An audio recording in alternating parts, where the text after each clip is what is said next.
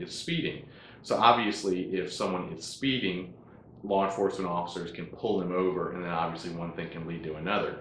Additionally, law enforcement officers look for equipment violations. So, for example, if you have a headlight out or a tag light out or a crack in your windshield, then law enforcement officers will stop the vehicle as well.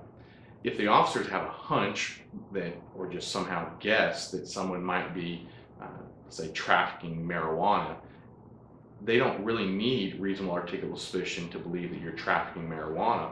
All they really need is a reasonable articulable suspicion to believe that you've create that you've committed some sort of traffic offense or equipment violation.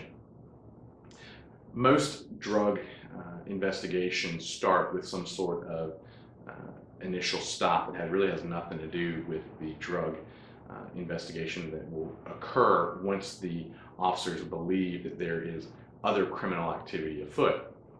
It's important to note that at this point, once a vehicle is stopped,